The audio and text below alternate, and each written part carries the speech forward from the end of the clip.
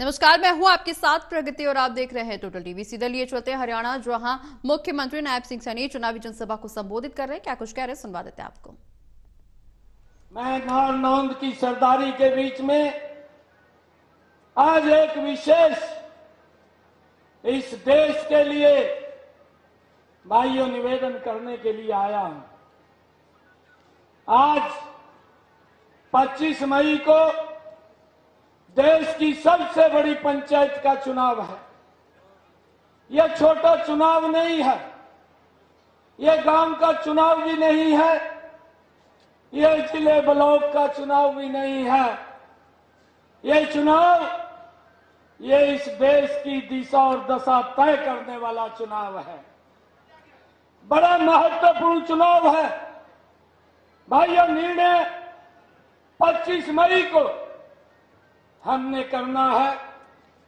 और मैं आप लोगों के बीच में ये बात कहने के लिए आया हूँ कि भाइयों, नरेंद्र मोदी जी ने पिछले 25 10 वर्षों के अंदर इस देश की दिशा और दशा तय करने का, भाइयों, एक विकास की गति करने का कार्य किया है। और अगर पिछला पचपन साठ सालों का कांग्रेस का शासन देखें।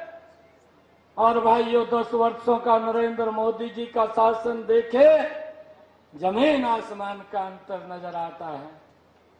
भाइयों, आज मैं आप लोगों के बीच में ये कांग्रेस घमंडिया गठबंधन के नेता, उनके बारे में भी बताना चाहता हूँ।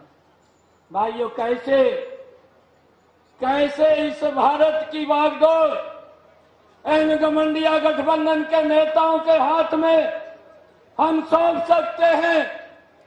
भाइयों, जो लोग जैनियों के अंदर बैठे हुए, जो इस देश को तोड़ने की बात करते हैं, और गमंडिया गठबंधन का जो युवराज है, राहुल गांधी, वो उनके बीच में जाकर के उनका समर्थन करने की बात करता है।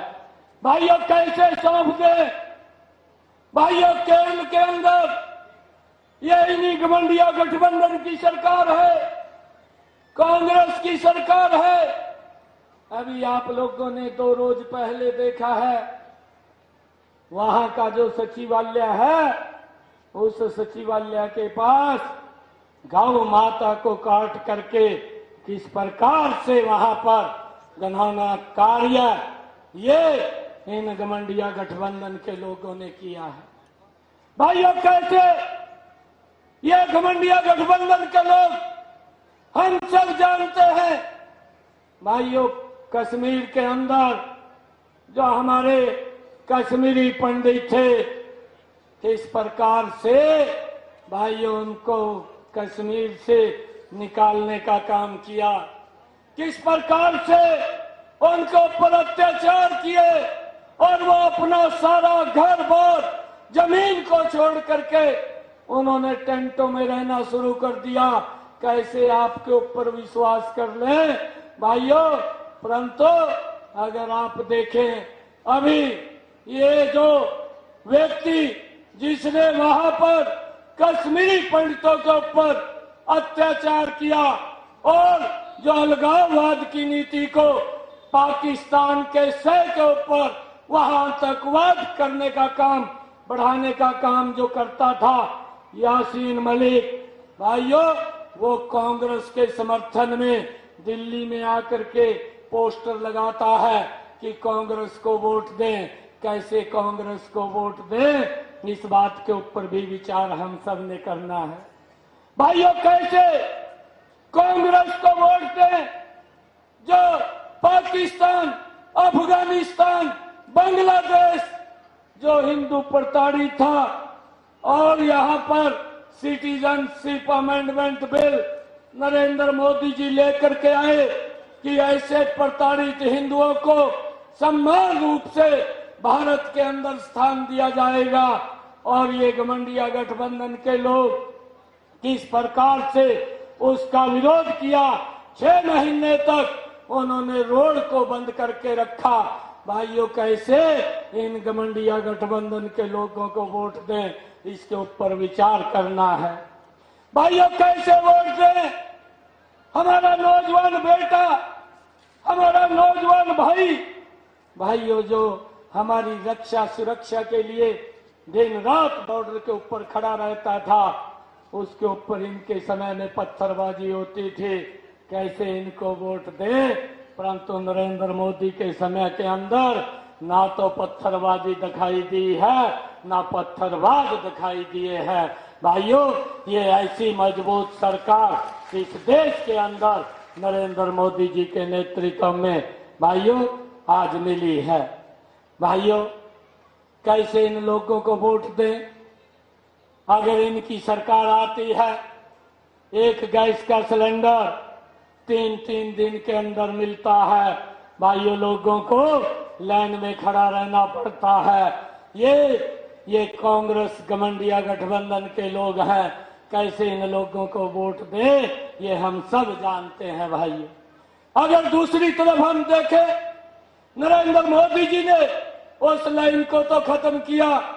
परंतु उस माता बहन के घर के अंदर भी गैस का कनेक्शन सिलेंडर पहुँचाया, जिसके घर के अंदर गैस का कनेक्शन सिलेंडर नहीं था। भाइयों, ये काम नरेंद्र मोदी जी ने दस वर्षों के अंदर किया है। भाइयों, जब इतने काम ये हमारी सरकार कर रही है, दूसरी तरफ़ गमंडिया गठबंधन के कार्यों की सूची है, उनके पास बताने के लिए कुछ नहीं है। और जब उनके पास बताने के लिए कुछ नहीं है तो आजकल उन्होंने झूठ का सहारा ले लिया है। और ये कांग्रेस का युवराज, ये जनसभा में खड़े होकर के बोलता है कि आप मुझे वोट दे। मैं एक झटके के अंदर गरीबी को समाप्त कर दूँगा।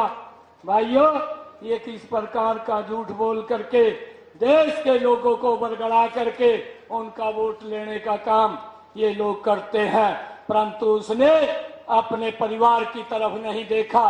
उसकी दादी ने भाई 1970 के दशक में कहा था कि मैं देश से गरीबी हटाऊँगी। गरीबी हटाओ का नारा दिया था। पैंतीस वर्ष तक देश के लोगों का वोट लेते रहे, परंतु गरीबी नहीं हटी। पैंतीस वर्ष के बाद उसके पिता ने, राहुल गांधी के पिता ने भाइयों दिल्ली में बैठ करके कहा, मैं तो एक रुपया भेजता हूँ और नारनौंद में पंद्रह पैसा लगता है। पचासी पैसे कौन खा जाता था? किसके वेलफेयर पे खर्च होना था? कौन सी सुविधाओं के ऊपर खर्च होना था? इसकी चिंता नहीं की, परंतु लोगों को उनके हालात के ऊपर ही छोड़ने का काम ये कांग्रेस पार्टी ने किया है। और भाइयों, ये युवराज बोलता है, मैं एक झटके के अंदर गरीबी को समाप्त कर दूँगा। भाइयों, कौन सा अलादीन का चिराग ले रहा है जिसको ये रगड़ करके गरीबी को समाप्त कर देगा? भाइयों, गरीबी के प्रति मज़बूत लड़ाई इन दस वर्षों में नरेंद्र मोदी जी ने लड़ी है। आज उस गरीब व्यक्ति को पाँच लाख रुपए का आयुष्मान कार्ड दे करके उसको सम्मान देने का काम ये नरेंद्र मोदी ने इन दस वर्षों में किया है। आज चिंता नहीं है गरीब व्यक्ति को अगर दुर्घटना वंश कोई दिक्कत आ जाए तो सम्मान पूर्वक अपना इलाज करा सकता है। ये सम्मान नरेंद्र मोदी जी ने दिया है। भाइयों, ये कांग्रेस